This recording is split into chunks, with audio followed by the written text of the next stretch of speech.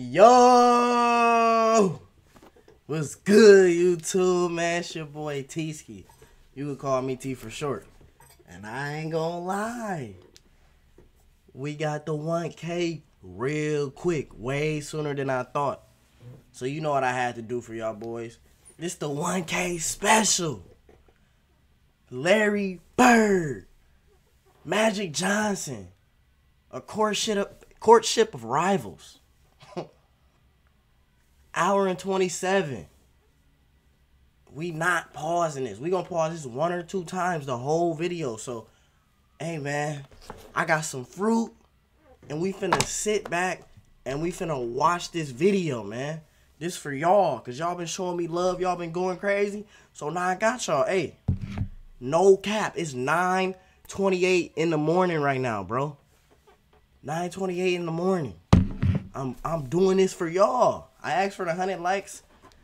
We we ain't get it, not yet, but I know y'all was gonna get it, so I'ma just tap in with y'all early. Yeah, this what my fans get, bro. This what my supporters get. This what my family get, boy. Y'all, you know what I mean? Cause if, if it wasn't for y'all, I ain't here. So I gotta treat y'all right. Y'all go treat me right. Deal? That's what I'm saying, bro. But man, before we get into it, I ain't gonna be talking that much, so y'all go ahead throw a like, a subscribe, and go watch the other videos. You know what I mean? In this video, man, just cause it's hour and a half, let me get 200 likes. Y'all could do that. 200 likes by tomorrow, and I'll drop another Larry Bird video. It ain't gonna be in the morning, but I'm gonna drop it. 200 likes. Y'all got all day today and all day tomorrow. But enough talking, man. Let's get straight to it. They talk about it every day, somewhere. If I go to a foreign country, magic, magic, what magic? It's the same everywhere.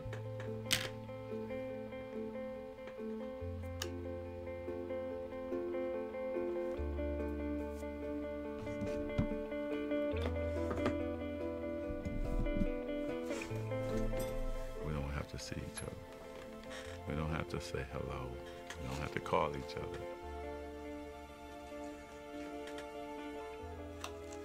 That's my main competition. It's always been like that. You know you got this tight bond with this cat, and you don't have to see him for a year or two. Um, but you're always gonna be linked to him.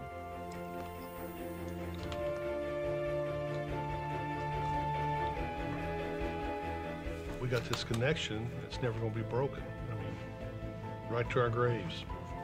They'll be talking about this 100 years from now.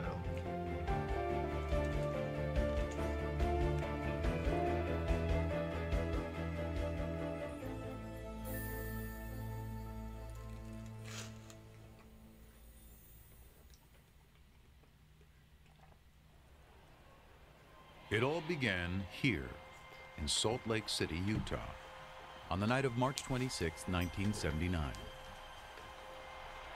It was the NCAA championship, Indiana State versus Michigan State, a game that still ranks as the highest rated college final ever on television. A game that's now remembered as a prologue to a rivalry that transformed a sport and intertwined two legacies. The rivalry started early. But on that night, March 26, 1979, the first time Magic Johnson and Larry Bird ever went head to head on a basketball court, they were simply two young men trying to win a very big ball game. You know, This two is young probably the bulls biggest trying game I'll to, trying ever to make play a in my name. life, and I just feel like, you know, I'm representing not only myself, my team, but we're representing our school and our, and our town, Terre Haute. Well, it's uh, a dream come true, really, for me. Uh, I won the state title back in my home state, and then my next accomplishment both number was 33. going to the NCAA and playing in uh, a game like tonight in the finals. They were two stars thrown together by the cosmos to compete. But only one of them had been groomed for the spotlight. In his case, it seemed since birth. I think his upbringing in East Lansing really put that smile on his face in the beginning, and, and it never came off. Born August 14, 1959, Earvin Johnson grew up in Lansing, the gritty industrial capital city of Michigan. I know a Raised under this birthday. little roof, he was one of Christine and Earvin Johnson Sr.'s 10 kids. Christine was a school custodian, while Earvin Sr. worked two jobs nearly around the clock. My father, he got up early every morning, six o'clock or so, and uh, he went to uh, work on his trash hauling truck every single day. Around noon, he would come home, catch a nap, and then he worked for General Motors for 30 years. And he Oh, won an award for never being late and never uh, missed a day. As a youngster, Earvin displayed his own strong work ethic on the blacktop. I was out there all day long. Before we went to school, the bus leave at 7, 7.30. I was out there at 6, 6.30 working on my game. My mother sometimes had to bring me food or she would have one of my brothers and sisters go get that boy so he could eat something. From a very young age, Earvin knew what he wanted to do. He working out. He had it all planned out. My dreams were to play in the NBA and become a businessman. The first neighborhood basketball powerhouse, Sexton High. I knew the players, I knew the tradition. I wanted to be a part of that. And it was on the side of town, which was at that time predominantly black. That's how you But when boy. Lansing, like many cities in the mid 70s, began busing to desegregated school system, Earvin's journey took an unexpected detour to a predominantly white school across town. My first uh, day at Everett High School was my first time I really had to understand there was a, a race problem. Nobody white would speak to anybody black, and nobody black would speak to anybody white. A lot of That's racial crazy. tension, a lot of fights, rioting. They didn't want minorities there. What year is this? Like the 70s? Kind of shrugged it off, and basically his attitude was, okay, well, I'll, I'll overcome like this. that. Whenever there was any racial problems, the principal would get Earvin and go talk to these kids. I can just see him with his big hands. Calm down, just calm down. He'd break up fights. Talk with his friends, tell him, you know, let it go. You know, we can't fight about everything. Let's just chill. Let's play basketball. and there was no dispute over Earvin Johnson's ability to play ball. His talent was so great that soon after his varsity debut, a local reporter, dazzled by his exploits, gave the budding star a nickname. In the beginning, I thought it was foolish and dumb. You know, I didn't know nothing about And that's one thing, man, I never got today, really. You know what I mean? It don't matter what what color, what shape, what size, what form you come in, man. If you know how to hoop, you know how to hoop. It don't matter, man. I don't even know why people be even taking it there. I never I never got the race stuff, bro. It's 2024. You know what I mean? Let's end that now. A nickname. Then what happened was you start saying, wait a minute, it fits my game. Hanging out with my boys on the street corners, we used to sing Temptation songs. They started saying, hey man, Magic, that's cool. And then people on the street start saying, hey Magic. And I said, hmm. And that's the only part. He bought into it, and um, I ain't I think he felt he had to kind of live up to that name. And I must say that he did. Magic. You gotta be a different type of nice to get that nickname. The more attention he got, you know, he just he wanted attention from anybody he could get it from. Yeah, it does. Um, I really love the game, and uh, I just want to win. Gets it over and back, and he jams it through. Earvin Johnson. I think the fro was drippy. loved the dress. Nice sandal belt and pants and overcoats with the, the fur around the collar. Always had to have his afro blown out. The fur was He drippy. I used to have that the fro. part, play the part. No, they great. Earvin was the first guy Believe it or not. to have a posse. I dropped the He pictures. not only had a posse, Let me know if y'all had want to see of 'em. black kids, he had a lot of white kids and hanging around him. Some of my white friends was like, hey man, uh, we're having a kegger tonight. Won't you come on by? And I'm saying, what's a kegger? So he said, well, what it is, we get this big keg of beer and you just go for it. Okay. Well, what time does the, the kegger start? Because regular party time in our neighborhood is 10, 11 o'clock. Uh, the kegger starts at 7. I said, The party starts at 7 o'clock? And I said, okay, man, I'm going to come to the kegger. We had a good time. The music was kind of bad, but we had a good time, you know. His senior year, Johnson did at Everett what he had planned to do at Sexton win the state championship.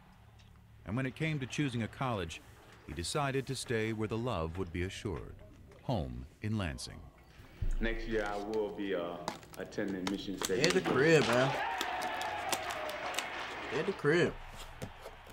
Put At on for your city. Magic's star quickly man. went national. But atop the college game, he soon discovered a certain presence beside him. The first time I saw Larry Bird was actually in a magazine. Saw his stats. Blown away by his stats. But let's nasty. see if he can really do it against us. And that's always a mindset of black players if he's a great white player. In 1978, after his freshman year, Magic would quickly find out when both he and Bird were chosen to play for Team USA in the World Invitational Tournament. They would put Larry Bird and I on the same team together to scrimmage, right? It, it was blowing my mind because he's dominating Jack Givens, player of the year in college basketball. Larry Bird is eating him alive. I couldn't wait to call home to tell my boys, man. Larry been a dog. This dude named Larry Bird is for real. This is the baddest white Hey, dude man, I've ever dog. seen in my life. Well, I thought he was very good. There's no question about it. I actually I thought he was probably the best guard on the team. Earvin Johnson, look at that. Oh, We didn't get to play a lot, but you could tell. I think our first game was in Kentucky. We got about a 10, 12 point lead. Man, they put us in. Went to 25, 30, just that fast. Ugh. It was easy, Fast break Magic. again, three on two. Griffin. Nice. My he getting on the rim? Look at steal by Larry Yeah, high Bird. school Take right us here. out. The lead go back down, put us back in. That's third, and Johnson. The show start again. When you play with Magic, there's just something about it. You want to make that extra pass. You want to get that rebound and start to break. We came down a couple times. I go behind my back, no look to him. He no look back to me, and I'm laying it up. I'm saying, oh man. Here's that last play. Magic Johnson going in. I'm a- you off dime me, I'ma Bird, dime you, it back nigga. off inside Let's play Johnson. ball, Magic. Superman. Okay. This guy got game. That's what I'm They had some wonderful bro. moments on the court, but they probably spoke to each other four, maybe five times during that entire time period.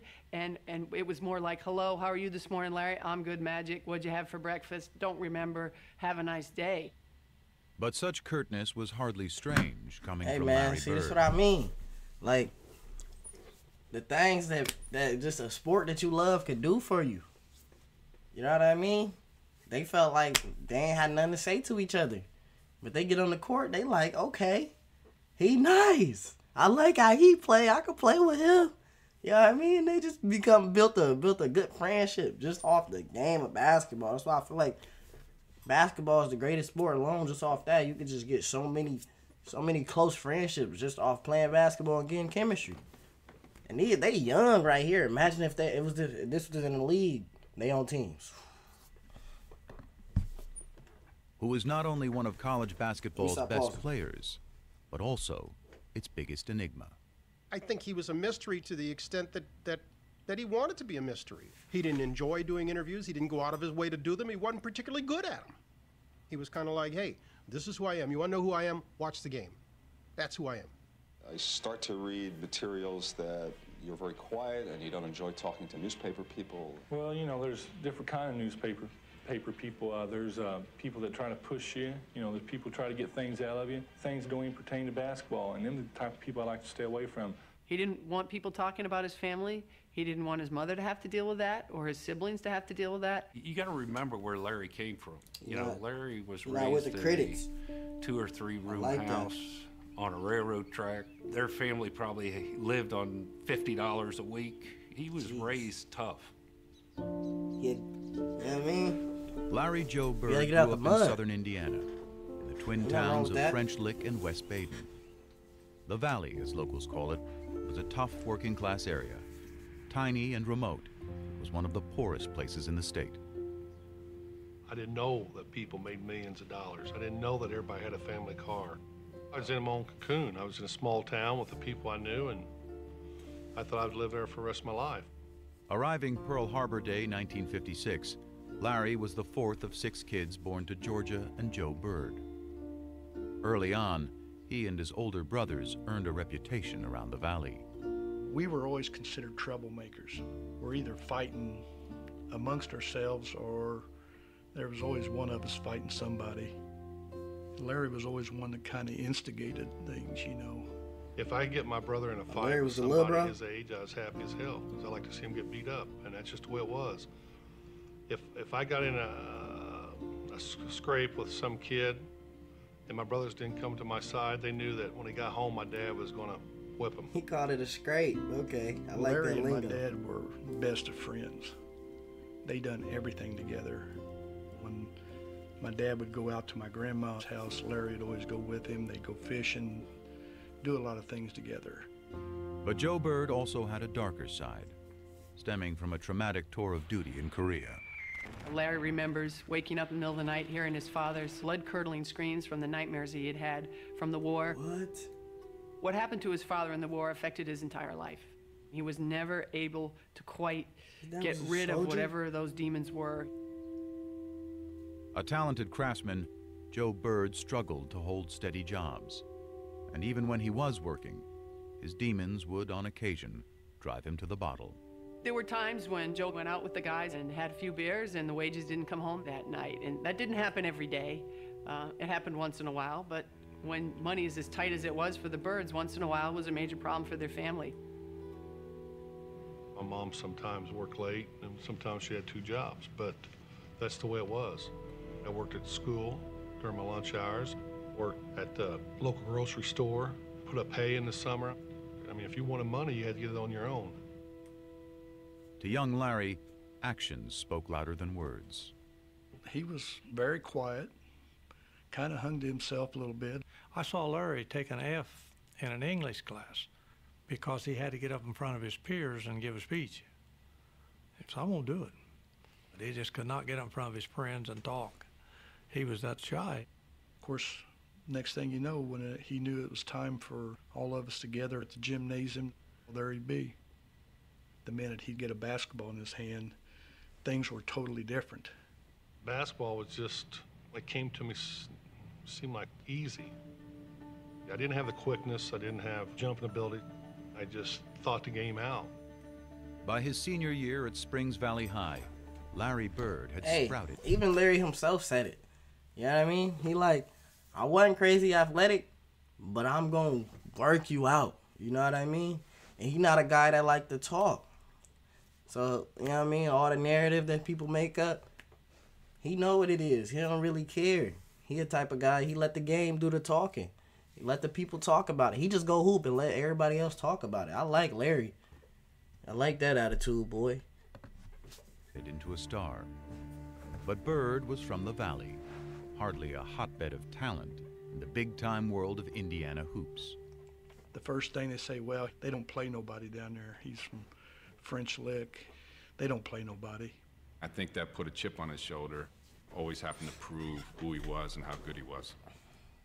He was good enough for Indiana University's Bobby Knight to come calling late his senior year. And folks in the valley couldn't have been prouder. Their local hero was heading 60 miles north to play ball for one of the best college teams in the land. Once I got to IU, it didn't take long to realize that I was out of my cocoon, had over 30 some thousand students, that I didn't have the funds. First week and a half, I thought, man, this ain't gonna work.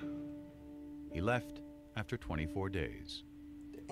Let my mother down. She didn't talk to me for two months. But it didn't matter what other people said. To this day, I don't care. Back in French Lick, Bird took to working for the city, hauling trash and painting park benches. Meanwhile, by that winter, his father's demons had taken him to an even darker place. By this point, Joe and Georgia were divorced, and he was behind in his payments to the family. The police came by, and of course, they all knew him. So Joe said, Hey, I need a few hours to get my affairs together before you take me away. So he called Georgia and he said, You guys will be better off without me, and I'm going to take my life. And he put the phone down and, and he killed himself. He shot himself. When Dad passed, you know, it hurt Larry. I mean, that was his best friend. Is gone now, and but Larry didn't show it a lot. He just didn't say much. You know, he just kind of held it within.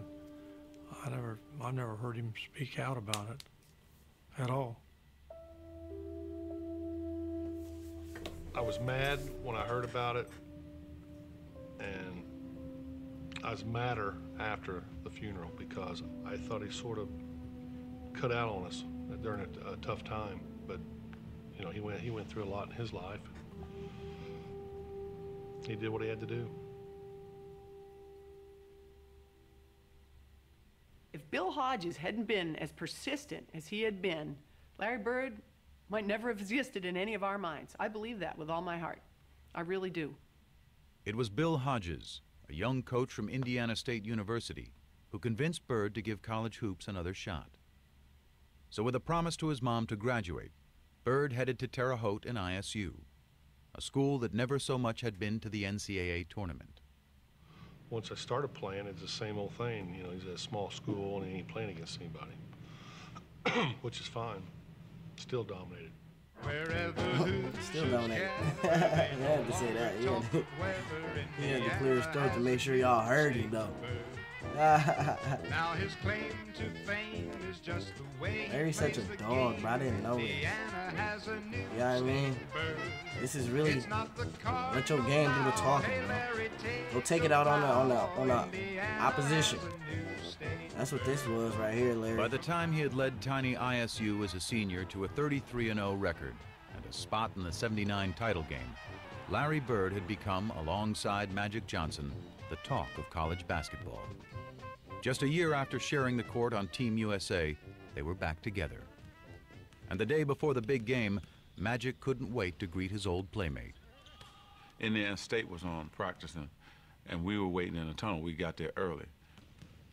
I wanted to definitely say hello to Larry, you know. When they came through, it was like nobody was saying nothing. I wanted to go toward him, like his guys, like made sure that he didn't say nothing. And then they kind of start snickering, like, Michigan State, you in trouble. We're going to kill you guys tomorrow. I probably did snub him. I don't remember it, but I'm, I'm sure I did. I didn't want any, you know, like I call it love fest, hugging and, and, and slapping high fives with opponent. You're there for a reason. You're there to win a game. You're there for that business. just said it's on now. I hear you. It is Indiana Let's State hoop. against That's all Michigan you worry State. about. Let's hoop. I'm Bryant Gumbel, and the fans here are going bananas. I mean, let's face it, if, if Larry Bird were black and, and came from Chicago, it wouldn't have been as big a deal. They, they were they were polar opposites. One black, one white, one outgoing, one shy. That was the charm of the attraction. The Bird against Magic. All of the superlatives have been used, and believe me, all of them have been warranted. Heading into the tournament, Magic was the bigger star. But by tip-off, it was Bird, having hardly missed a shot in the semifinal, who had become the focus of fans, and more importantly, of Michigan State. We actually had two men on Larry everywhere he went. Jeez. Larry was pulling. I'm surprised they didn't play a box on Doubles one. you know, already? four guys on Larry and one on the other four, um, because that's they didn't have a lot of talent. You know, if you stop Larry, you pretty much stop them.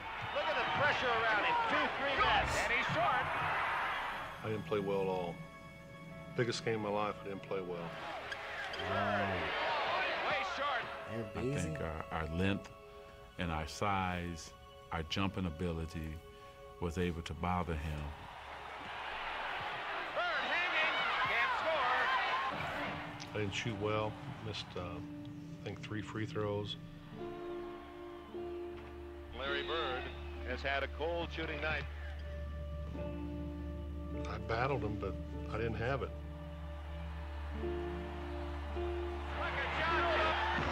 Ooh. Ooh. It's all over. Michigan State University, national champions, 1979. Magic, not only were you a leader on offense. I thought you did a great job on Larry Bird in the zone denying him the ball. Yes, uh, Coach, This what uh, made him a dog gave like a this. Good game plan to go against Larry Bird, and This all we had to do is go out and do it. That's what we done. Congratulations, Super Bowl game. Get it now. I see why Larry a dog. Stuff like this only, It was you over, know what I mean? you know. That was my four years. This make or break done. you. No, it still hurts. And when you win 33 in a row and you walk into a game, you know, you never know what to expect, but it, I expect to win. We didn't win. Toughest loss I ever took. Still a good ball game. I, I knew it was going to haunt him forever because we were going to see each other a lot.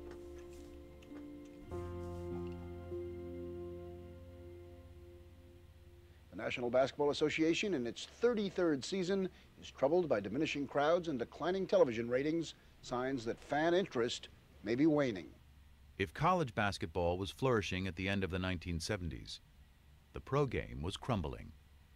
After the golden era of Bill Russell and Jerry West in the 1960s, a merger with the ABA in 1976 had led not only to new teams, but a new temperament. Whoa! It was a, a new league with new broke times, the rim? with renegades. Oh my with God. individuals. Ice. Who's there that? was an argument Who's made, Ice? plausibly, I think, that it was too black a league for the United States of America in the late 1970s. You think about the Knickerbockers. Whole the team was time. black? The running joke was it was the Knickerbockers. You know, it was the, it, that's what it was. It, it was the N word. It's turning off a lot of white white customers that are coming to the game. You know, uh, Why? I think there's still a there's a conflict between the white and the black, and uh, I don't enjoy going to the basketball and seeing all black players. I mean, I, I think it's it, when they said too Jeez. black, they meant not just in terms of color, but in terms of style. Let me get mine, and the hell with yours. Too much. They don't like all that Basketball for us flashiness. was about the best moves. You wanted to be uh, that big player that everybody talked about. You wanted to be the one. You didn't think about winning championships or team play. And those were just the issues on the court. Cocaine? The NBA had this image of an all-black league with a bunch of guys who did drugs. Mm. The teams were Man, losing this money. was that time, huh? That crack in the '80s was really that that that was nationwide, huh? Even NBA players, I I didn't know it was for real, bro. I be hearing about crack in the '80s. Everybody did it. Hey, let me. Hey, old heads, don't let me find out about y'all. Let me hear y'all stories. nah, I'm off that. I'm just playing. Y'all can do what y'all do. I ain't judging. and uh, they had no sponsors, and that's pretty much a death knell right there. It's a known fact that you need your white superstars. You just need more white ball players on the team for the white fans to identify with. And in the newest member of the Boston Celtics, that's exactly what the league appeared to be getting. There's hope he can help solve professional basketball's difficulties, which some say are compounded by a question of black and white. The Great White Hope. What does that mean? Well, you know, it's very hard to say because there's a lot of great white players around, and, and I just hope that I can just fit in as well as some of them that has fit in. He ran away from that designation. He made it very clear, almost from day one, that he was not the Great White Hope. You know, the, the great players are the black players, and they're the best.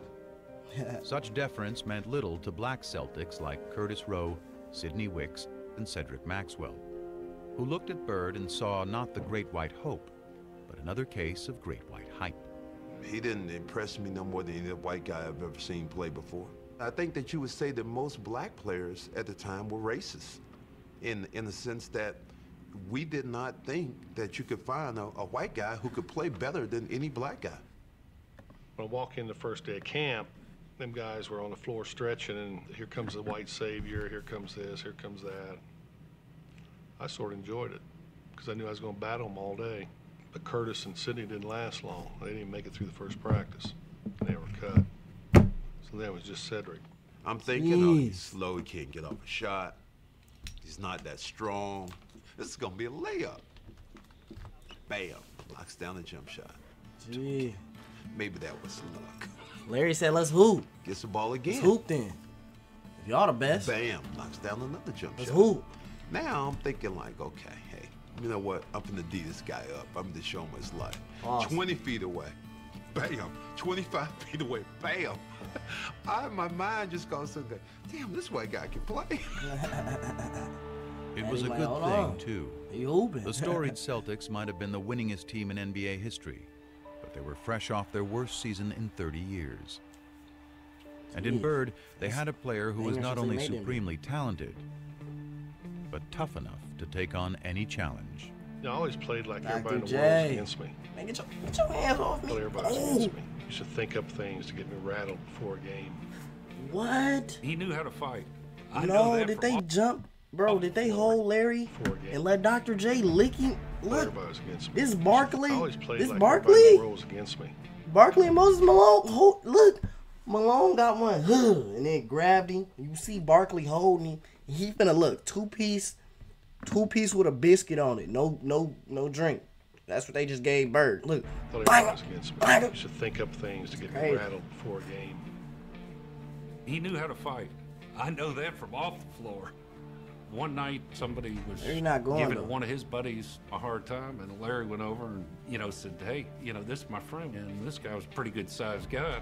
By golly, they go out back, and the guy turns and says something to Larry, and I mean Larry hit this guy, and I caught him. Hit him so hard, I go, whoa. He was from the old school, and I, that's how he played. Larry Bird plays. Larry got these right here. Played the game hard. Larry said, "I Played rough. but you don't want to see these." There was no frills about him. He came in, he threw elbows. He's elbows. hurt. There was nothing smooth about Larry. Okay, Larry. Larry a dog, bro. New Englanders like that. They're hardworking people. They like that that's how people view them, and that's what Larry was. Larry Bird. Put that back. Good dog, boy. They also like winners. And when Bird led the Celtics to the NBA Larry- championship in just his second season, he was finally one of those too. Boston loved Larry Bird. It just wasn't so clear at first how much Bird loved the city back. There's only one place I'd rather be, French Lick. Thank you. Man, Larry was almost agoraphobic in his treatment of anything outside his hometown. He wanted to be the Wizard of Oz. He wanted to intimidate people and keep them at bay. The further we are away from each other, the more I like it. I had a nice little house. I had my little yard. I want to go from there to practice back. If we had a game coming up, I want to go there to the game and back home. Did you be chilling? It was all basketball. My whole life was basketball. All his life. I hear he you. was just sitting there It was just me, you were looking around, mumbling, trying to find things that we had in common that we could talk about. Now we started talking about basketball, started talking about players. It was, you know, it was great. Uh, U.S. history? No. You know, we forced passes, we made errors down the stretch. Daily events? No. I made the shot, and from then on we was up by two, and they had to get back in the game, which they did. Politics? No. Try to not do anything I can't do, or do no more than what I can do. I just go out and try to do my basic game.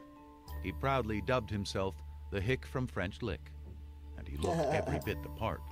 That But picture those is who so played funny. him for simple did so at their own peril. One of the great ways, I think, of winding up with no money in your pocket is to think Larry Bird is dumb. Syntax is not intelligence. Unlettered is not stupid. He's got a great sense of humor. He just didn't show that to people. That didn't mean he didn't have it. He did, however, allow the public one small indulgence. You could come out on Saturday and watch him mow his lawn. Huge crowd started to stop. Larry Bird's cutting grass in front of his house. Like, he's mowing his lawn in the springtime. Larry is about doing things himself. And I think it's one of the things that made him so beloved in Boston. But as Bird navigated through his new world, he still had one eye fixed on a familiar foe in a faraway land. so they still get back, Larry. I hear you. What tripped me out was I'm riding, right? I'm riding in the limo and I'm seeing orange trees and lemon trees in people's front yards. I said, stop. I gotta go pick an orange. Are, are you crazy? I said, no, I gotta do this. And so I ran up like a like a scared little kid, grabbed the orange, and ran back to the limo. I'd never seen an orange tree. I'd never seen a lemon tree. I was fascinated.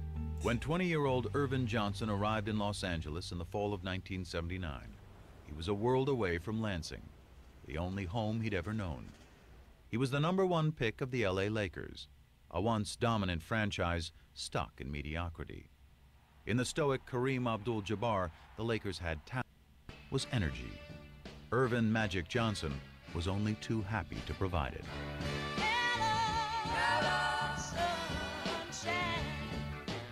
lit the place up. Changed the franchise, changed the temperament. I I changed it from the very first game.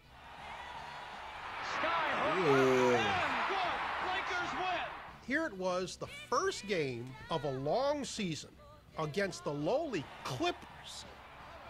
And Magic was embracing Kareem as if they'd just won their 10th straight championship. It was like, man, this is a different kind of dude. That's how you celebrate your guys. From the day he arrived, he became the prince of the city. He reminded me of a guy who wakes up without an alarm clock. And that's what I used to always say. I want to be happy enough to wake up without an alarm clock because I want to go into my world.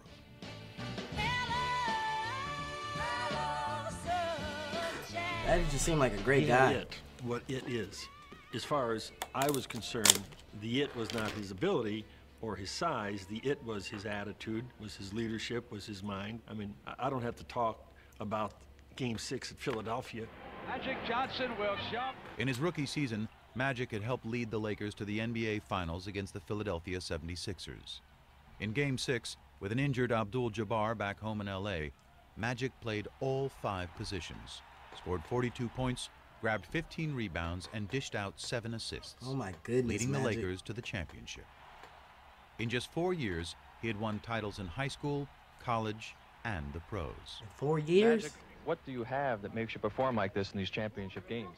Well, I don't know. Just I love to win.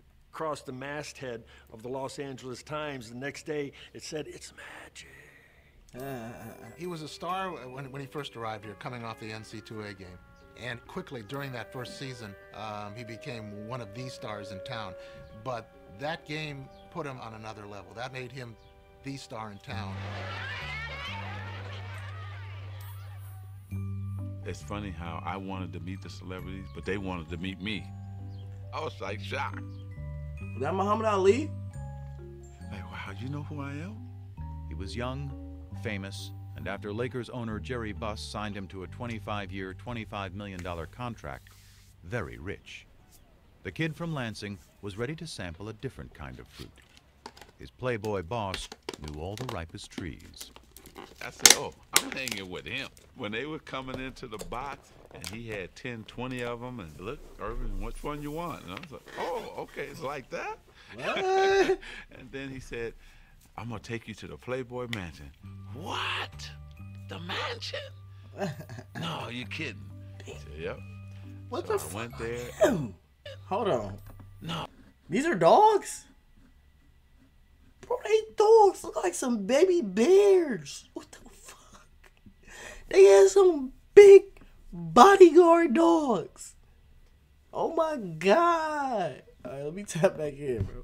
Oh, you kidding? Those just look like bears. My fault, bro. So I went there, and my first time, I'm backing up like I can't believe I'm in, but I'm backing up away. You know, it's like I'm scared to death. Probably ten guys to a hundred women. You know, what? Everybody think it's sex driven, but it's really not. You you you have dinner, then you watch the latest movie, and then of course I don't want to ever say that sex wasn't involved. Because if, you meet somebody, and that's what you know you wanted to do. You did that, but it's really a, a Ah, great Magic experience to go up there. So yeah, I Hey, had fun. hey, Magic said, I ain't gonna say we wasn't getting no butt. but I ain't gonna say we was. You know what I mean? If you was on that, you was on that. I hear you, Magic. I hear you, bro. Hey, Magic seemed like a fun guy to be around, man. He's a capper. Uh, he came to L.A. like the Pied Piper. You know, people were giving him this and giving him that, but you know, he stayed pretty grounded to the game. Everybody was getting high then, but what? You can't even smoke a joint around Magic. He had real old school down in the trenches work ethic. And that was honed in him by his dad, Earvin Johnson Sr. Magic was always this guy. You know, he never did none of that, so I did everything for him. Magic Johnson was living on a natural high.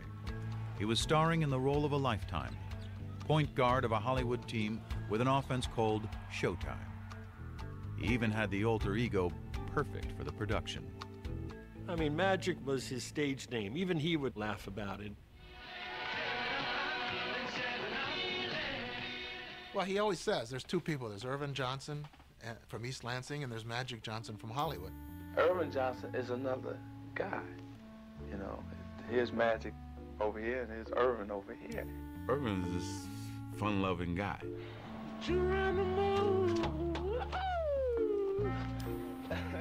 Magic was so serious and dedicated to his game, and he was a crazy, crazy competitor and a crazy man. Earvin, I think, is the smiling kid from Lansing. I think Earvin died about 25 minutes after the NCAA championship game. Earvin doesn't have the ego that Magic has. Magic got a crazy ego, and winning is everything. And Earvin wanted to, along with Magic, conquer LA. After having led the Lakers to two NBA titles in their first four years in town, Magic and Earvin were well on their way. I think Magic wanted to be friends with Larry Bird. He wanted to be friends with him on the World Invitational Tournament, and Larry just wasn't very receptive. I think he wanted to be friends with him during the Final Four. Larry wouldn't even go over and shake his hand. So now Magic's saying, well, what's with this guy? Everybody loves me. How come you don't love me? And then they get to their rookie year, the first time they play each other, well, they have a very hard foul.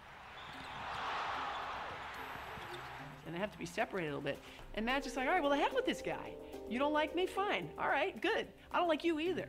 You know, he's a, a very uh, competitive player, and I'm a very competitive player, and uh, we go head to head, and uh, we go for blood almost. The vibe was it was nasty. It was ugly. It was uh, we didn't like each other. I'm the one that did all that. To tell you the truth, it was. I just don't want to be hanging around him. I mean, that was my main competition. And he couldn't escape the memory of losing to him in 1979. Oh, it ate at him bad that he didn't win that national title against Magic. That was something. He was still, he was still sick. Burned him. It was one thing for them to be in the bitter. 79 championship. Magic had the better team. Everybody agreed with that. Magic had the better game. Fine.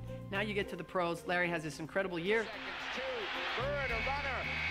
That's But there he is, watching in a club while Magic Johnson wins a championship, and he's thinking, "Ah, all right, I'm behind two to nothing now. I watched that game and I couldn't believe it. I always wanted to play at that level. But what Bird couldn't possibly have known was that he had inspired Magic's performance when he was named Rookie of the Year earlier that same day. The PR What? person from the Lakers Bird Rookie of says, "Hey, Year?" Earvin, the Rookie of the Year voting has come out." And Magic says, "Okay, well, who won?" He said, "Well, Larry Bird won." And Magic says, "Well, was it close?" And he said, "Oh no." He went out that day, yes, to try to win the NBA championship, but also to prove it to one Larry Bird. You know what? I should have been 63. Rookie of the Year. Even though I won the championship, I still wanted to win the Rookie of the Year too. He won that championship. I was pissed. I want him one. But even after he had won one the next year, his obsession only grew deeper. I'd get up in the mornings and see what he did because their games came on late. Then you look at the box score. I had to have him there for some reason. Like a crutch. Somebody I can compare myself to. I hated what was being said that Larry was better than me, and I'm just a guy who can control the game. My first four or five years, that bothered me a lot. I didn't tell nobody it bothered me, but it did. Their competitive dislike emerged from a greater truth that on the court, they were doppelgangers. Team oriented stars who cared about winning above all else. Basketball savants who fused the substance of the 60s with the style of the 70s to my create a new and exciting yet selfless way to play the game in the at that. 1980s. Get your boys Yeah, to eat. I'm gonna pass. Everybody eat. But I'm gonna pass in a way to make you look like a jackass. Oh my goodness. They were so similar I mean, if they were two halves of the same brain. Same craziness to Literally excel. feeding a guy. I seen that first couple days I was with him. Basketball IQ off the chart. Seen the game a little different, most players. Playing the game the right way was everything. That's a lot of guys can just Score. A lot of guys can just rebound. A lot of guys can just make plays. We can do it all. Larry and Magic could control the game with 12 shots. It was amazing. They'd be 7 for 12. They'd have 20 points, 15 rebounds, and 12 assists. And you go, man, the guy shot the ball 12 times and was the best player on the court by far. But I think it was tough at first. I don't think either one of them wanted to recognize that they had any equal anywhere in what they did. But they sure as hell didn't want to recognize that their equal happened to be that other guy. That's why we hated each other too, because we knew we were mirrors of each other. I think for a while the two of them had they, they had to come to grips with that. They had begun changing the game, but with continued low television ratings and tape delayed finals, the league was struggling to get the word out. When the NBA and CBS signed a new TV deal before the 82 83 season, the rescue plan was simple sell more Bird and Magic, and sell them not just as ball players, but as arch rival characters in their own dramatic saga. You got this slick Showtime African American guy out west, and you got the lunch bucket, floppy haired white guy with the bruises all over his body. It's central casting, it's perfect. I mean, Call this him was lunch made bucket? Heaven. In 1979, this idea of Magic and Bird was created, and so that was sort of a no-brainer. We'd have a doubleheader. It would be the Celtics playing first, and the Lakers playing second, and that's the way we did it. And when the Celtics and Lakers both reached the finals just a year into the new TV deal in 1984, That's still how they do it today. it appeared the superstar investment was about to pay off. It was huge. It was probably the biggest moment the NBA had up to that point. You had Boston and LA, East against West. It had all the elements of, of a classic showdown. including what was becoming the most inescapable element of all. Did we know that blacks and whites were lining up, the whites with the Celtics, the blacks with. Of course we knew that. Even in the Celtics' own backyard. They land at Logan Airport at the 84 finals. He's getting accosted by various people who are telling him Larry's going to take him down. But this one uh, older African American gentleman comes up to me and goes, Magic, I want to wish you well. Good luck. I want you to crush the Celtics. And he said, Oh, well, where are you from? He said, Well, I'm from Boston. And he said, You're from Boston and you're rooting for the Lakers? I thought everybody here was crazy about the Celtics. And he looked right at me and said, Now, why would I root for those white boys? Boston, after all, was a town still scarred by the ugly busing crisis of the mid 70s. What? A violent period of urban unrest during which white had been pitted against black. The resulting taint on the city nationally, coupled with a Boston roster littered with white players, affirmed to many black Americans that the Celtics were not the team for them. Yeah, Paris Even though. today, people said, "You played with the Celtics, and you know I hated you at that time. You know I, I wanted Mhm. Magic to win. I didn't want that damn Larry Bird to win. We had all these black players, but they looked at us because we had Larry Bird leading us as a team that was white. They were perfect archetypes for what was becoming the biggest story in sports. But for the real life players, the narrative was much simpler. It's finally going to happen. We get to go head to head again. It's just a matter of rolling that ball out there and let's get it on. Welcome then to the Boston Garden and That's the who? start of the NBA World Championship Series. who? That's what the people wanted. I'm Brent Musburger. In each of the last four NBA World Championship Series, either Magic or Bird has competed. But this is the first time that the two have gone head to head for the title.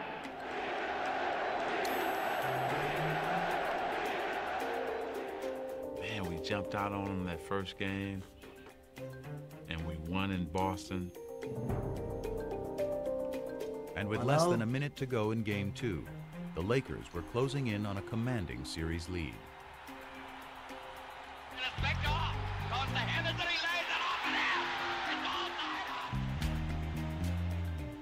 From that point on, things began to crumble. Down to nine seconds. Magic holds the ball. Magic trying to work on Maxwell. Magic has still got it down to two seconds. One second.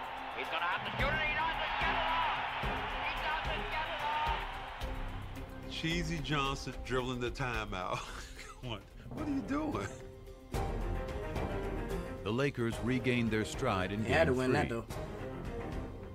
only to be rudely knocked off it again in Game 4. Oh my God. And now let's watch it. Cooper and the Celtics, and now the bench is empty. When Kurt Rambis got taken 31 was finna crash out. Look at him. He got he up like, what? fighting and started playing. Kareem swings the elbow, and now is yelling at Larry Bird. Jaw to jaw. And it made us realize we were not mentally tougher than the Celtics. Magic's just not himself. To be sure they won't let the time run out as they did in game two. Parish steals the ball, and the Celtics call a timeout. There are a number of places Magic. where, you know, Earvin didn't do what people expected him to do. Tied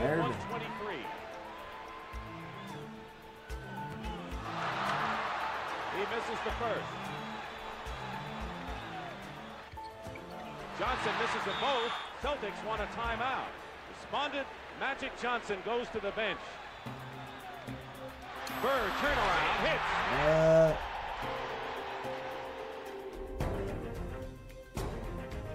Game 5 went to the Celtics. What? Game 6 to the Lakers. what? It went Like seven? 1979 all over again. Down to one game for Bird and Magic. If everybody had to look at it, probably would have said this is going to be seven game series. No, I thought we'd sweep them in four, but uh, just went a little bit longer. Now we just have to do it in seven. That's the only time I ever felt that. There ain't no way they're walking out here with a win. Hey, win. Larry funny, bro. No way. Lakers had several chances, and here's Larry Bird shucking down the court.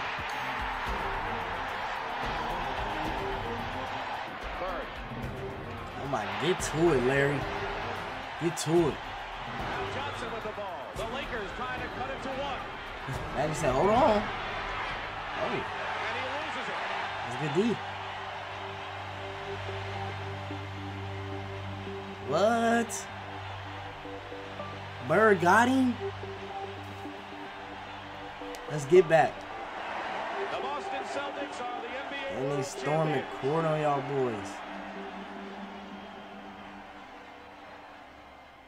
I know he's sick, ain't he? You sick. I I pride be myself sick. in, in being the guy who's going to win it for us and and deliver under pressure. And um, it didn't happen. I hope he was hurting. Hope it killed him. Yeah. He Yeah. made some bad plays down the stretch, and nobody in there was happier than me. You know, not only winning the game makes you feel good, but just knowing the other guy's suffering, and you know he was. I remember after the game that both he and I uh, were in the showers crying. What? Stayed in there for about 35, 40 minutes. It was hard because not only had we lost to the Boston Celtics, he had lost to his nemesis, Larry Bird. Oh, I think he just made me dislike him more, you know, because he was that good. And and I think you you, you be jealous. You, you jealous a little bit. Larry, does this get you even with Magic for what happened between Michigan State and Indiana State all those many years ago? Yeah, we're professionals now, but uh, I won this one for Terre Haute. Well, it was a big deal. and I remember asking Quinn Buckner about it afterwards. They had a celebration in downtown Boston after they won the championship, and you know it was unusual for Larry to have these little outbursts, as Quinn would call them. But you know, about 11:30 at night, finally he turned to Quinn. He goes, "I got him. I finally got him," and he was talking about Magic. The league was rejoicing too. Hey, Game bro. 7 of the 84 series was I one of lie. CBS's highest rated telecasts of the year. And the highest rated game, the NBA, This video is super informational, bro. I love this video, man. I love who I seen somebody recommend this, bro. I think it was Deaky. I hey, Deaky killing y'all with the with the uh, recommendations. So y'all y'all better get in the comments and drop something, bro. Deaky carrying right now. Hey, Deaky. Deaky. You hey, you my day one. You the realest on the squad right now, bro. I need somebody else to step up. Who else mess with me like Dicky? Send me some heat. They had ever produced. all of a sudden, whether it was at CBS or Madison Avenue, the sports writers around the country became phenomenal. What is happening here? The absolute foundation in this resurgence was the Celtics and the Lakers, Larry Bird and Magic Johnson. But Magic was in no mood to bask in the accomplishment. I took a, a media beating. Tragic magic. This is why we say Larry Bird is better. It's probably the first time ever in my life I was depressed. And I didn't want people to see me. It was something I never dealt with in my life. That particular series, that championship series, redefined his whole career because he never stopped working after that. Magic was on a mission to prove to himself and the world That's what you that do. with the ball in his hands, Go get he better. was still the one in control. And after his Lakers ran through the 85 season, he quickly got what he wanted. Another shot at Bird and the Celtics. They won the East, we won the West. So it's like uh, everybody just get ready, sit back, and uh, let's enjoy it. But that smile belied the intensity of the clash that awaited. If I had a glass of water and any of those guys had been on fire, I would have drank the water and watched them. They called us, you know, chokers and sissies.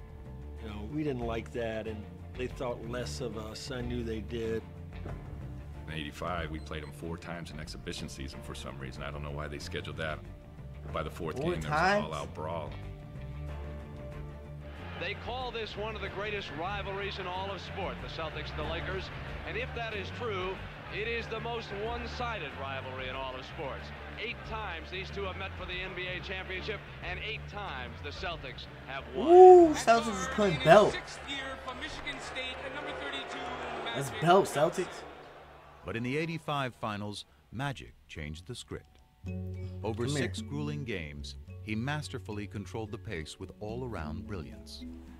He has a triple double again. Triple double? Behind their point guard, the Lakers finally knocked out the Celtics. Okay.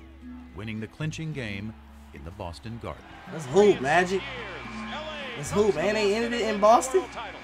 He like, storm the court now. That's what I would have said. Storm the court now. Redemption for one Magic Johnson. It's a long year last year to wait for this moment right now. Magic had evened the score with Bird on the NBA floor. But the significance of their rivalry and their relationship was still just taking hold. You crazy. I said, You're crazy.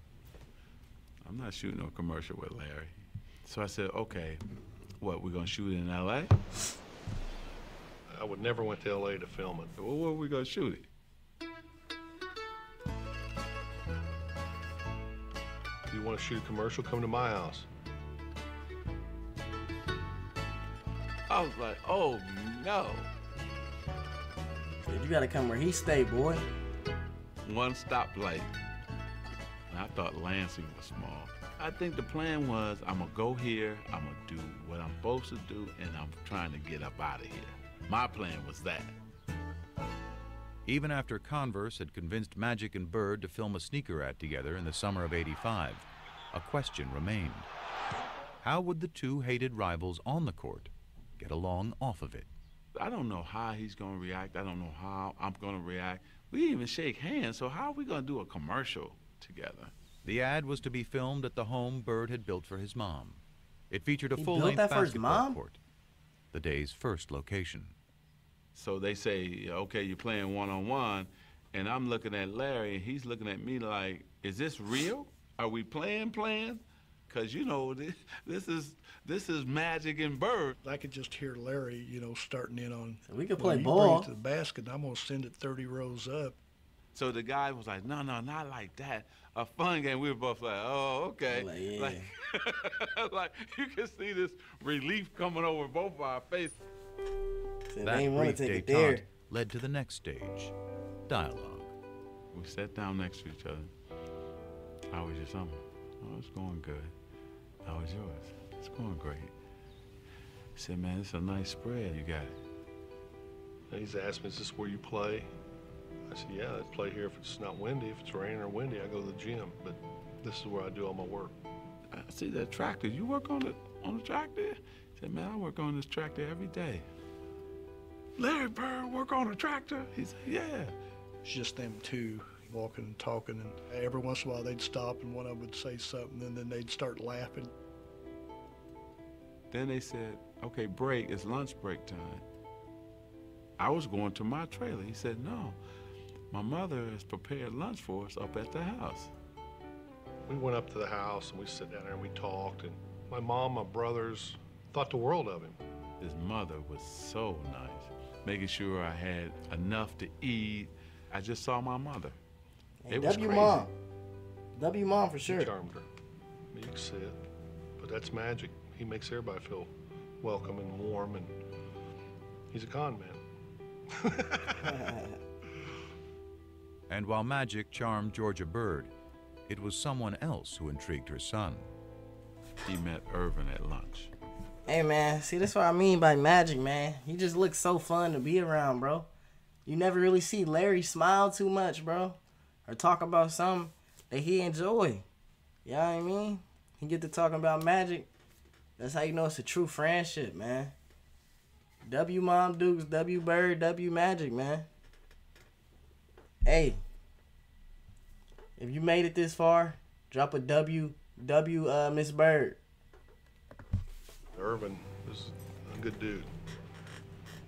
I like Earvin a lot better than Magic. I was just so happy to finally be Earvin with him because Magic was like, I don't know if I want to get to know this guy. But Earvin got a chance to talk about family, how he grew up. We just, we just became two relaxed guys, just talking. That day was great. It was a great day. Beautiful day. Still, for Bird, ever the competitor, that's all it was. Just one day. Magic thinks the next year, okay, well, now we're great friends. So, you know, after the game, we're going to go out, we're going to have a, a beer. And Larry's like, no, you're right. I know you better. You're a good guy, but I still don't want anything to do with you. He's a happy-go-lucky guy. If me and him got to be really good friends, go out on the court, he could still play the same game. I couldn't. I mean, that's just the way it is. But when the ad hit the airwaves, for others, the perception changed. I saw those limousines going through the cornfields, and I said, no. They didn't sell themselves out. I heard Converse made a pair of bird shoes for last year's MVP. Yep. But they made a pair of Magic shoes for this year's MVP. Okay, Magic, show me what you got. Oh, this is really a business thing. The bird shoe, the magic shoe. And maybe that's where Why the Magic business thing colors? started to get bigger and began to trump who they both really were. Well, his It shoes was green polarized and the white. whole idea of lunch bucket versus Hollywood, white versus black. Just cemented all the differences between them. Kids weren't wearing black gym shoes because they didn't want to be associated with the Larry Bird camp. You wore your white Converse. The basketball rivals had morphed into cultural warriors, and race, more than ever, had become an unavoidable part of the conversation. Yo! But nothing about Bird and Magic had ever been as simple as black and white. One of the big reasons this rivalry became so emblematic of so many things is because it was an easy dichotomy for people to understand. But it's crazy to simplify it as saying white people like Bird and black people like Magic because 13% of the country is black. But it wasn't like 87% of basketball fans preferred the Celtics. Who's your favorite basketball player? Magic Johnson. Who's your favorite movie star? Eddie Murphy. Pino, all you ever talk about is nigga this and nigga that. And all your favorite people are so-called niggas. It's different. Magic, Eddie, Prince are not niggas. I mean, they're not black. I mean, let me explain myself. Has the N word ever been used oh. by a white person to describe Earvin? I doubt it. But as Magic enjoyed his image as a crossover star, it was Bird, the one time great white hope, who had further emerged as the polarizing racial figure, due in part to that era's increasingly conservative political climate. The rolling back institutionally of the achievements of the civil rights movement were going on apace from about 1975 on. But the triumph of the movement that rolled it back took place in the 1980s. And I think there was people who were very aware in the black community of what was going on. And I think there was a lot of sublimated frustration. And I think one of the ways it got sublimated was into basketball. And I think Larry, through no fault of his own, was the receptacle within which the lingering resentments somehow floated. And after Bird led the Celtics to the championship in 1986, his third in the pros, winning his third straight MVP award in the process, the resentment grew.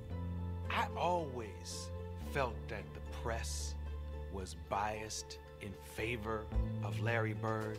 It always felt to me like they were gonna make Larry the hero. Living you know, legend. You'd see somebody score, and Larry would be in a cast in a suit on the bench, and they'd say, "Larry Bird made that possible." A couple weeks ago, when he told that guy he could do it, and he just did it. And they was gonna eating. get his motherfucker the assist, and he not in the game. Not to be racist, but we have a white guy who's the best in the world. It's predominantly a black sport now. And you got a guy like Larry Bird who can't run, who can't uh. jump, but can do everything out there.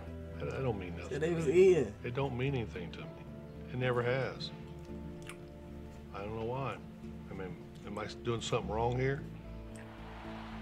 Bird may have sought to avoid the conversation entirely, but the more he won, the less he could escape it. Give me that.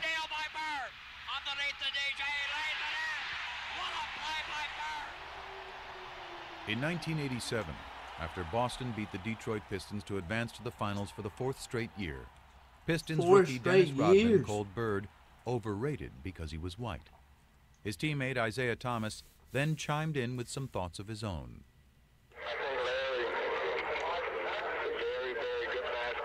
I think he's an exceptional talent.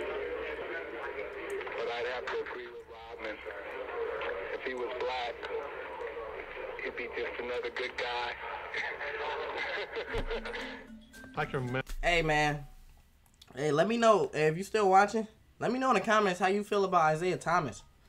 Cause I know he I never really seen him say no, nothing good about nobody. Like he was nice. But I feel like he wanted to smoke with everybody. Every legend that he played, that he came across. I ain't gonna lie. remember uh, in the locker room, I think it was Jack McMullen came up to me and said, Isiah just said boom, boom, boom, boom. And I go, so? He didn't care. He didn't care. Everybody else around him cared very deeply in the days and weeks as it turned out ahead. I mean, the media made it out like it was something. But it didn't matter to me what Isiah or Dennis Rodman said. And it still don't. Has no bearing on what I do in my life. He doesn't see race. He really doesn't. Uh, and he could have. This guy grew up poor, white, in southern Indiana. Southern Indiana, the home, by the way, of the modern Ku Klux Klan.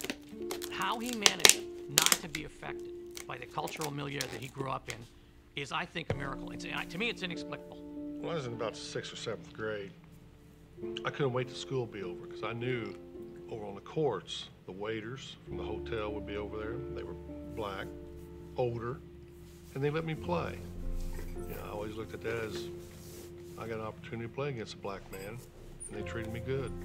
I couldn't wait to play against the best, and at that time, they were the best. And in 1987, as Bird vied with Magic to be the best, the flap over Isiah Thomas's racially fueled remarks forced Bird to address his least favorite topic at the worst possible Y'all be mad if I go get my water real I had to go to a press conference when we was in LA, It's in the trying to get ready to play the Lakers, and tell people I didn't care. This don't bother me. The main thing is if the statements or whatever was said doesn't bother me, I don't think it should bother any of us. From playing all year, trying to get back to the finals and play against Magic, this was a distraction. Bird was facing off against Magic for the third time in four years. And if their relationship had softened, time in four the years. determination to beat each other had not.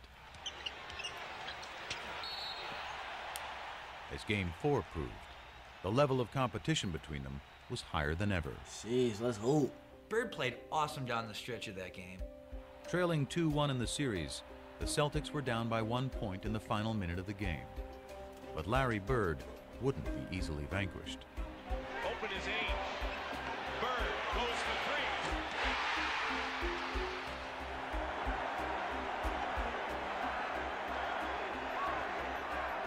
With seven seconds left, though, the Lakers still had life. Three years earlier in the 84 finals, Magic had flubbed a similar situation. But this was a different Magic, one with a whole new bag of tricks. My man switched to Kareem, and Kevin McHale jumped out to me. Uh, as soon as I saw Kevin, I said, "Oh, I'm taking him." Hey. You know, Did you- Magic puts it on the floor, a couple head and shoulder fakes, and he raised up in the air, and there was nobody. He got that switch. That was going to get that shot. Ooh. That's nice. That's nice. That's nice, Magic. I remember after they called timeout, thinking there's still a shot here. Celtics may still win this game. What game is this? Well, they set up a great play. Bird walked Worthy all the way up, forced the denial all the way up. Like what? What number at a? Like what game of the series? We've done it before. Clear everybody out, go to the ball and break the corner. He caught it here, and as he caught it, all he had to do was turn. He just turned, and he just let this thing go. Bird fires it. Got a wide open look, couldn't believe it. And I'm standing right there. It is straight as an arrow. Dead on. Oh, he missed. I thought he hit it. Because it's Why right. y'all playing with me? I was gonna turn up. You know that's my guy. How did you ever leave me that wide open? You gotta be kidding me. Y'all trying to get me high. Y'all trying to get me high when we calm down. Change the series. The Lakers won the series in six. And in the aftermath of a year in which Magic had won Good his work. first MVP, the rivalry suddenly took on a new tone. Magic's just a great basketball player. He's the best I've ever seen. You It's know. two one Magic I, in the finals. unbelievable. I don't know what to say. I was He shocked hurt. that he said it. Because I thought to myself, maybe this is the beginning of a new era that's not going to include him. It was the passing of the torch a little bit. After vanquishing Bird in 87, Magic wasn't done winning. The following year, he squared off in the finals against his good friend Isiah Thomas and the Pistons, beating them to become the NBA's first repeat champions in two decades. By the dawn of the 90s, he'd won five titles, played in eight finals, and equaled Bird's MVP tally of three. But the more Magic won, the less Earvin seemed to be around to reap the spoils. Once I tasted the champagne and the championship, I wanted more of that and more of that. So Magic kept growing because we were successful. And the persona and all of that came with that. The Prince of LA was now the king. And in Hollywood, being royalty had its perks. And he was that guy. What was Earvin Johnson's vice? Now, you know, my publicist wants me to say winning. But women loved Earvin. Back then, before What? voicemail, they used to have these mail slots in the hotels where you leave your key. And when we get into a town, Earvin's mail slot would be so packed, and it would be just Susan and a phone number, Linda and a phone number, Joyce and a phone number. I mean, that was every city, every every time. He was I that was on top guy. of my game as Magic. So I needed all that around me at that time. The women, the this, the that, Hollywood. Magic was living in a context of sybaritic excess from the minute he walked in the door. And he developed a sweet tooth for it. Sex with several women at the same time. What? Like I said, women have different fantasies. Some want to be with two or three at a time. You know, one time I had six at one time. Just I really do believe he looks upon Magic Johnson as a movie character he played. I Magic. think Earvin got overwhelmed in LA. Magic's by that what guy. It meant to be a star. that's probably true that uh, the Magic ego swallowed Earvin a little bit, but that's okay because I couldn't win five championships without that. Hey, hey, bro. This is the last time I paused it. Hey, Magic said, Magic said, hey, Jordan, you might have had six of them, but I had six of them. Haze of, of women and money and fame and fortune, he still kept basketball at number one. He never seemed to lose that focus. Larry had two jobs his last seven years of playing. It was playing basketball, and then it was him being committed to taking care of his back. He had first heard it in 1985, building the driveway at his mom's house back in French Lick. Larry decides to do it himself. This is Larry Bird, the superstar, out there breaking his back, literally shoveling gravel. And that, that was the beginning of a process.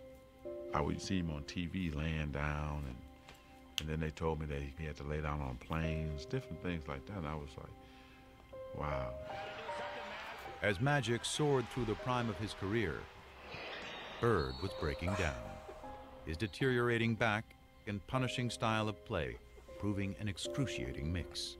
From 88 to 92, it was painful to watch. It was painful to cover. Larry is quite ornery when he's not feeling well, which means he was ornery for those next four years. He could manage the pain in a way that very few people can do. There'd be days he could come in the office and he couldn't stand up straight. But even after two ruptured Achilles tendons and surgery on his back in 1991, Bird kept going to work.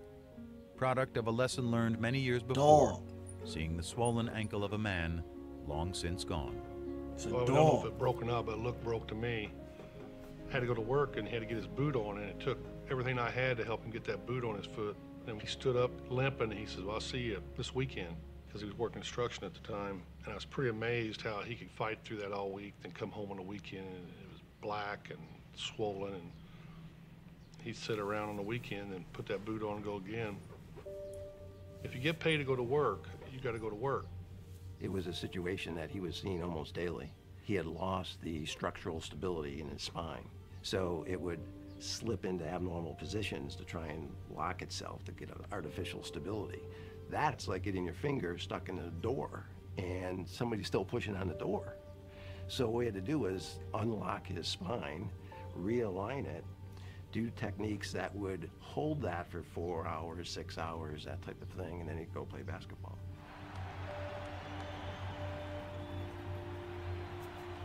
Every time I would play, I was wondering if I was going to be in a wheelchair. Was I ever going to be able to, you know, walk on the beach or hold my kids? His pain and his quest for basketball became all encompassing. Very few people really knew what Larry was living with. Because this was Larry's issue, and there was no sharing of his pain. You know, I probably should have retired in 88, 89. But uh, it's that competition. Maybe one more chance, me and Magic get together in the finals. But it never happened. I'm sleeping, really, laying down, just waiting on the game, and uh, the phone rings, and uh, the voice says, "Hey, you gotta uh, come back to L.A." And uh, I said, "Okay, why?" Well, I can't tell you until you get to L.A. So I said, "Okay." Two hours later, he was in the office of Lakers team physician Michael Mellman. Dr. Melman starts to tell me that, you know, uh, through the physical that I took, that um, they discovered that I had HIV. That's some crazy news, bro. I fall to my knees. First time ever in my life. I'm such a control freak, right? Do things the right way. I'm out of control. Oh, it was everything. How is it possible? What happened? How did it happen to me? And my mind is racing, you know, and uh, and then you just you just devastated. Further complicating things, Magic had gotten married just two months earlier, and he feared the worst for his new bride, Cookie, who was pregnant with their first child. I don't know what's going to happen with my wife and my baby. I don't know what's going to happen to me. I don't have control of the situation, and I was lost just for that next two or three weeks. And after Magic learned neither his wife nor his unborn child were infected, he began revealing the news to his inner circle. The phone rang, and it was Magic's agent, Lon Rosen. And he said, Earvin's looking for you, call him. And I said, I'll call him when I get to Paramount. And he says, call him now. I said, Lon, I'll call, I'll call him when I get to Paramount. I'll be there in 20 minutes. And he said, you gotta call him now. Earvin's HIV positive. Jeez. Um, I remember st- I sitting on the bed. I remember standing up at that point. And I said, How is that possible? I'm thinking Earvin's gonna get skinny and die. I mean, literally, that's what I thought. Earvin's gonna get skinny and die. The first person I thought of was Larry. I wonder what Larry thinks. The day that I heard about Magic, it just sort of changed my love for basketball. It shook me up. You know, you get, a, get that feeling, probably the same type of feeling I had when my father died. He wants to understand why, you know, how can I talk to him? How, I need to speak to him. It was just really important for Larry to talk to him. You know, I, you know, it's sort of, I don't know. I wanted to hear it from him. Probably didn't believe it. calls me, but uh, we're talking. You know, it's just how you doing? I heard about it, and uh, you can almost hear both of us with some uh, tears in our eyes, and I'm choked up because he did call me, and uh, you know, when something happens.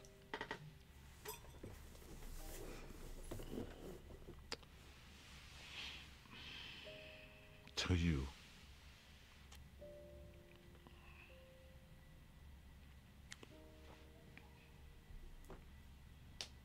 And then you find out who really your friends are and people who really care about you. See, look, it's still hitting him to this day. Cause it's like, it's a touchy subject, man. He probably ain't ain't really talk about it to that many people, and he like, you know what I mean? Bird messed with him on a different level. And he really didn't think that because you know Bird ain't talk. But he was just a, a down to earth, real cool dude, bro, that kept it a hundred at all times. It show you what type of guys these guys are, bro. These real grown men, real professionals. You love to see it, man. You love to see friendships like this, man. It's deeper than basketball. At the end of the day, that's what I'm saying. Basketball is a great sport. It can bring two people from two different spectrums of life, bro. Two people that grew up way different. Bring them together, make them like brothers. It's really different out here, bro.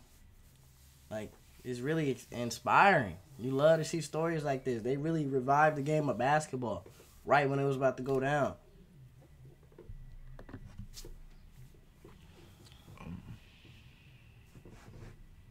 You figure all those battles all those things we had to go through as warriors, as competitors, and as men. And um, here this man says, hey, you know what, man, you're okay. And so um, that was the greatest moment for me, too, you know, to have him check on me and to make sure I was okay. First of all, let me say good, good after late afternoon. Um, because of uh, the HIV virus that I have attained, uh, I will have to retire from the Lakers uh, today. It's the only press conference I've ever been in where I've seen reporters cry. I mean, we thought this guy was in total denial. I plan on going on living for a long time, bugging you guys like I've always have. We thought this, this smile was going to be wiped off his face forever and he was going to die, in, but we're going to watch him die in public. I just remember in the room, he was joking, and I'm sitting there looking at him crying, and he's like, Coop, man, I'm going to be okay. I'm going to be okay. It's going to be all right. I am going to go on. I'm going to beat it, and I'm going to have fun. Sure, come on. You, you're going to beat this? And to him, it was a contest. Larry Bird and Magic Johnson, AIDS and Magic Johnson. He's same thing. It's just a, a, a different game, different rules, but I'm still going to win. He wasn't planning on going nowhere. Earvin was planning that day to find the right medicine, to eat right, get rest, and live forever. That's what he was planning. Thank you again, and I'll see you soon. But as Magic put up a positive public face, his nemesis, still out of sorts, shed the mask he had hidden behind for years. He was visibly like, wow. Hey, this show you right here, man. This a this teacher a little something. No matter what you going through, No matter who with you, no matter who not. You just keep going. You do it for you, man. Don't do it for nobody else. You stay true to the grind. You keep grinding. You know what I mean? You're going to get results. At the end of the day, no matter what it is, no matter who it is, whatever it is, stay grinding. You know what I mean? It's always better days. Just always think it could be worse. You al- you always got to go with that mindset at the end of the day. Look at that happen. You know, they just that it was just it really set him back. Probably the two toughest days I've had since my father passed away, and I've been very depressed and, and sort of been out of it. I listened to him talk in this press conference about how devastated he was, and I remember thinking to myself, you know, goddamn, Larry found Earvin. You know, just out of the blue, something like that happening. It's just, I've never had, uh, other than one other instance, I, and I was hoping I'd never see that again because I remember how I felt weeks after that. And yesterday was just, just a sad day. And at his game that night, Bird was forced to confront pain he couldn't so easily play through. Didn't want to be there that night. First time ever. And really last. I remember we played in Atlanta. Had no feel for the game, you know. This wasn't, wasn't a good time to be out there. Never had that before. That night, he threw a pass. I'll never forget. He threw a half-court pass behind his back for a layup, and if you blurred your eyes, you squinted your eyes, it looked like magic. And that was Larry saying goodbye. And then, I mean, this competition thing is, is, is amazing, what it does to you. Uh, what you put your body through and what you do and what you say and how you feel and knowing that he's not there wouldn't feel right. But I think it's all them years that, you know, what's he doing? What if he's practicing this hard? I bet he shot 500 shots a day and I didn't get 500 in. It's always that mind games. Bird played through the 91 92 season, his last in the NBA. But a part of him was already gone. I didn't check the papers anymore. You know, it didn't matter. Uh, I still wanted to compete, you know, but uh, it wasn't the same. it hit different. It really do.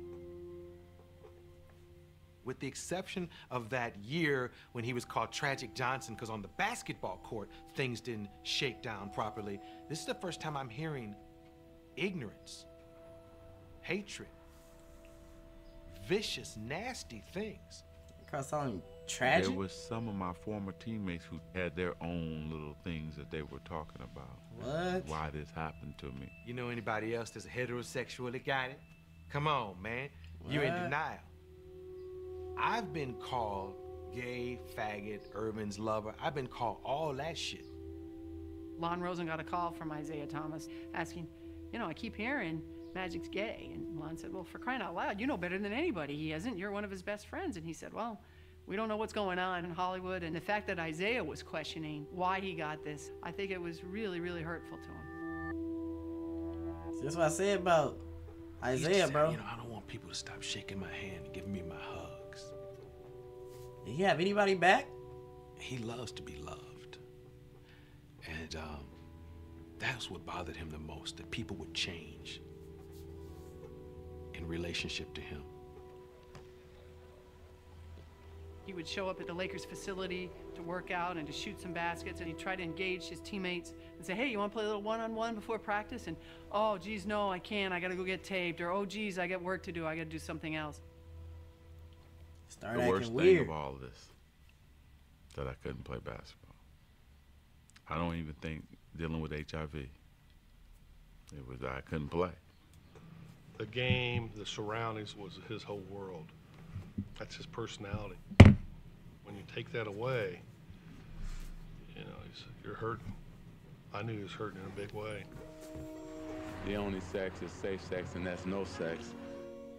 As basketball went on without him, Magic performed ably in his new role as HIV educator and spokesman. I'm helping every way that I can.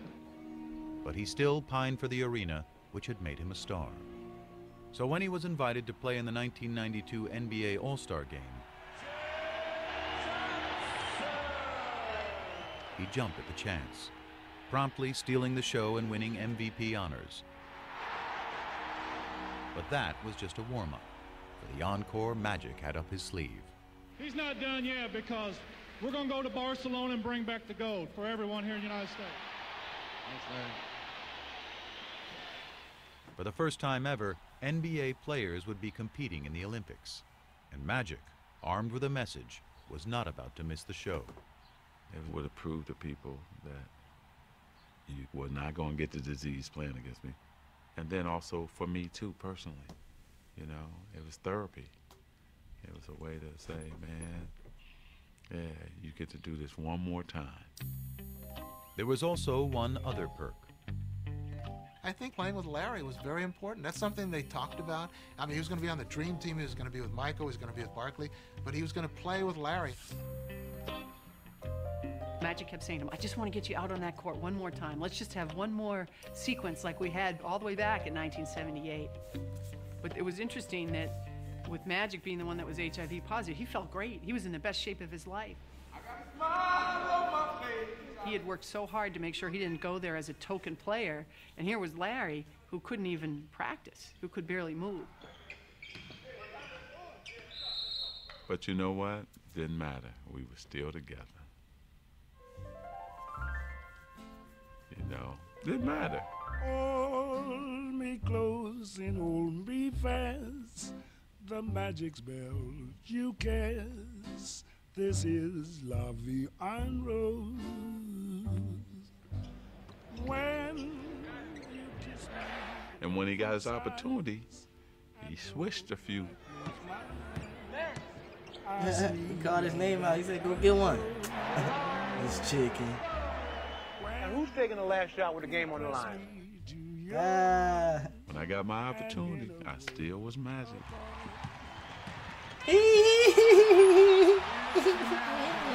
Fake him leg. 14 years after they'd first crossed paths, the smiling kid from Lansing and the shy boy from French Lick were happily back together in Barcelona. But it took just one glance outside their hotel's front door each morning for them to see that as far as they had come, they were as far apart as ever. The only way you walk out that door if you wanted attention. But I asked this guy, I go, how can you get around this? There's got to be a way. Lo and behold, there was a side door. You can go wherever you want. I was going to tell him about it, but seeing that smile on his face, the closer you got to that front door, come on. He didn't want no side door. You know Earvin. He go right in the middle of them. Turned a long way, sweetheart. You're a man of the people. I'm going out the front because that's who I am. Yeah. I don't go out the back. You love to see it. I don't go out the side. You love to see That's see not me. If you want to go somewhere in a hurry, there's, there's a there's a door that leads you there, and I found it. I respected him for that. And so, hell, I would try to find a, a side door for him. and we never tried to change each other. That's what made this relationship great.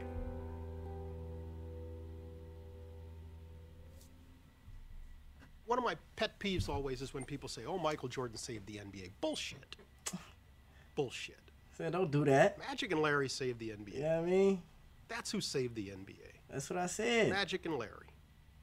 Magic and Larry, Bird and Magic. To the millions who once watched them, now more than ever, they are inseparable. A pair of athletes put 'em on thrown together by M&Ms? the cosmos to That's compete. funny. A pair of men who What? discovered a bond in the midst of that competition. Decades removed from the height of their rivalry, their bond endures. Two impossibly different men with a connection only they can fully grasp. It's almost like a private little club, and only the two of them are in it. And every once in a while, they need to show up to have a reunion and pay their dues to each other. But they don't need the day to day contact that most friends need. It's just not that kind of relationship. But I always I always get this good feeling when I know I'm going to see him because uh, he makes you feel good. You know, he really does. He's unbelievable. He's very private, but if he's your friend, man, you got a friend for life. and Larry Bird is a straight. hey, Larry, he low key like a lot of people. It's like everybody think you quiet, but like if you get the knowing, this like you know what I mean. Hey, if you was a quiet person, but your friends knew you, and you y'all go out in public, be like, "Oh, you quiet." Your friends be like, "Dog, you gotta get to know him." Larry is one of them guys. I, you know what I mean. Me and Larry similar in that way, man. You wouldn't know it. You wouldn't know it unless you knew me. You know what I mean? It's a, if you know, you know. It's one of them. Straight shooter. He'll tell you when he don't like you. That's one thing I wish I could have from him. That that he has that I don't have. I wish I had that. I mean, he walked in here, this whole room would change, and uh, maybe that's what I always wanted to be, but I just couldn't.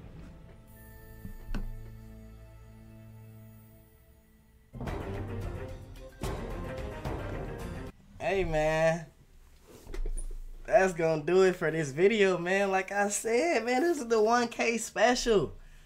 Y'all got me to 1K quick, so I had to bless y'all with some Larry and Magic. You know what I mean? And this was a great video, man. I love this suggestion. Like I said, 200 likes. I got y'all with a, another hour long uh Larry Bird tomorrow. You know what I mean? So like it up, bro. It's on y'all what we really want to do. If you made it this far, if you made it this far, drop a drop a uh W duo in the comments. Drop W W duo if you made it this far. You know what I mean? Cause this really show you. No matter who you are, what you come from, and what you know, somebody totally different, bro. Y'all could be the perfect duo. You know what I mean? He talk a lot, he don't. It's like a peanut butter and jelly. You know what I mean? Hey, dr- hey, hey, is they like peanut butter and jelly? Hey, drop some, drop some unmatched duos. You know what I mean? You know what I mean? They like orange juice. you know what I mean, bro?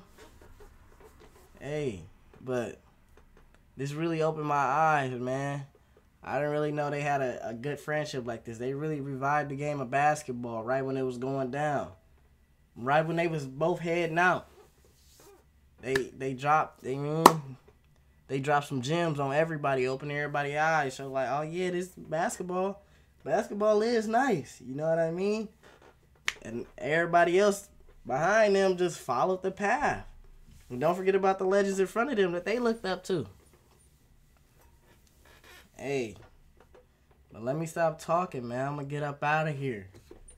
So if you made it this far, go ahead like it. You probably already liked it. You made it this far. You already subscribed. I know you a real one. If you made it this far, you're you know mean? Hey Deaky, shout out to you for sending this video to me. This is a banger. I love this video. If y'all got more videos like this, let me know. And we gonna react to it, bro. Hey man. Get this hey, get this video 5k likes. I get a Larry and Magic Dream Team jerseys. Let me know what y'all want to do though. 5k likes, I'm getting them both. And we go I'm gonna wear them both in different videos. I can wear them the same video. Y'all let me know we could change. Middle of the video, what you be? But with that being said, my dogs, I'm out.